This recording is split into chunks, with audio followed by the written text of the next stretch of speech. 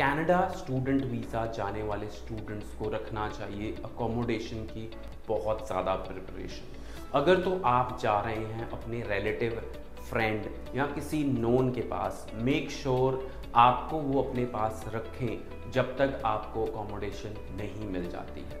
देखने को मिलता है कि वो तीन, चार, पाँच दिन बाद आपको कहते हैं कि आप अपनी अकोमोडेशन में मूव कर जाएँ।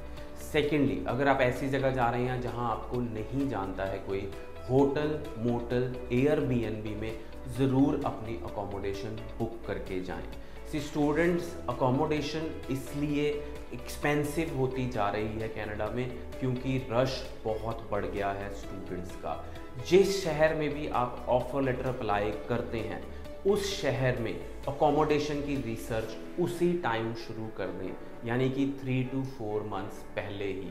और आपके पास नॉलेज होनी चाहिए कि किस एरिया में स्टूडेंट्स को अकोमोडेशन सूटेबल है, क्या कॉस्ट है अकोमोडेशन की, किसके साथ आप अकोमोडेशन शेयरिंग करने वाले हैं।